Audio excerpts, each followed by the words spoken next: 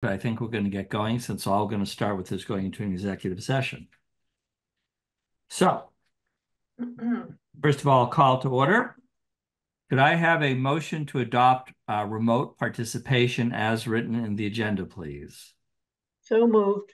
Second, Very good. Roll call vote. Pam? Pam Nourse Acton, yes. Sarah Matthew Arlington, yes. Erica LZ Bolton, yes. Steve Ledoux, Concord, yes. Sharon Musto Lexington, yes. Jeff Stulin Needham, yes. Alice DeLuca, Stow, yes. Very good. Uh, I, I would like somebody to move that we enter executive session and not to return to open session.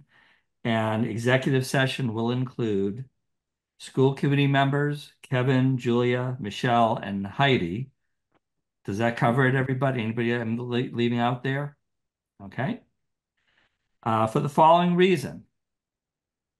To consider the purchase, exchange, lease, or value of real property if the chair declares that an open meeting may have a detrimental effect on the negotiation position of the public body and the chair so declares. So Somebody like, do I have a second? Any discussion? Roll call vote. Pam Acton, yes. Sarah Montague Arlington, yes. Erica LZ Bolton, yes. Steve Ledoux, Concord, yes.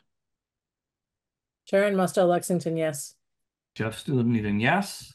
Alice DeLuca, Stow, yes.